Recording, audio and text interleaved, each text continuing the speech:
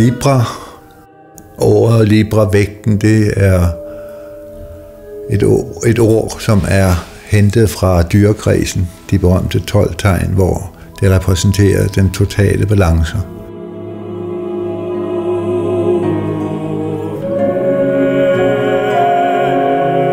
Musikken i Libra er udtryk for mange forskellige tilstande, som egentlig er til stede samtidig. En række satser, som bærer hinanden, og så kommer det vægtagtige frem, at de vejer hinanden op, de forskellige led i musikken. Noget af det bliver mere fremhævet, så det andet går i baggrunden. Når man først kigger på de her noder, tænker man, hvordan skal man overleve det her, fordi det er ret krævende. Øhm, men øh, lige så stille og roligt, så, så, så kommer værket ind under huden på en, og det tror jeg har at gøre med, med, med det melodiske stof, der simpelthen er i det. Hele den her balance, som går igennem hele værket, hvor man oplever den her utrolige ro, som værket besidder.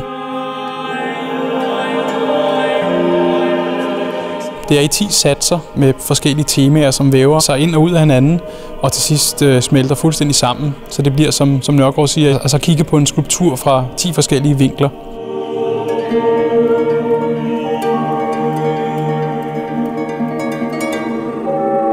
Der var en periode, hvor jeg var optaget af Steiners tekst, så begyndte jeg at studere nogle af hans digte. Han har skrevet til øh, hver af dyrekredstegnene, og der synes jeg netop den der vægtens tegn, den havde en, nogen vil sige en sødlad måske, eller banal verdensalance i sig. Det der med verdener, der bevæger verdener. På den anden side, så er det jo det, som alle verdener, statsmænd og politikere på alle måder, det er det, de prøver for, at verden ikke går under. Og det var faktisk det, som allerede profiterede i begyndelsen af 1900-tallet Steiner.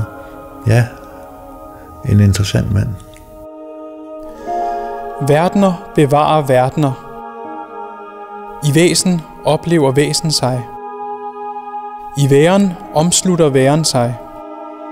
Og væsen udvirker væsen til den vortende virkes udgydelse i hvilende verdensnydelse. O verdener, bær verdener.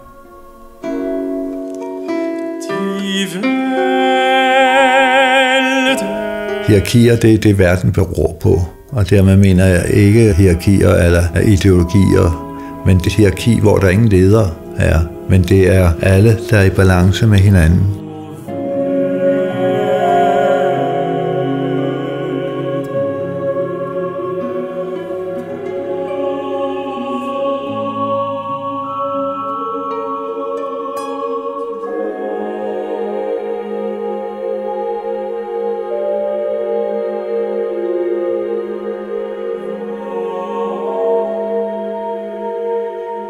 Der er ingen vanskelighed ved at forstå den musik, fordi den melodisk er den egentlig enkel, og klangligt er den baseret på naturklangen og naturrytmer.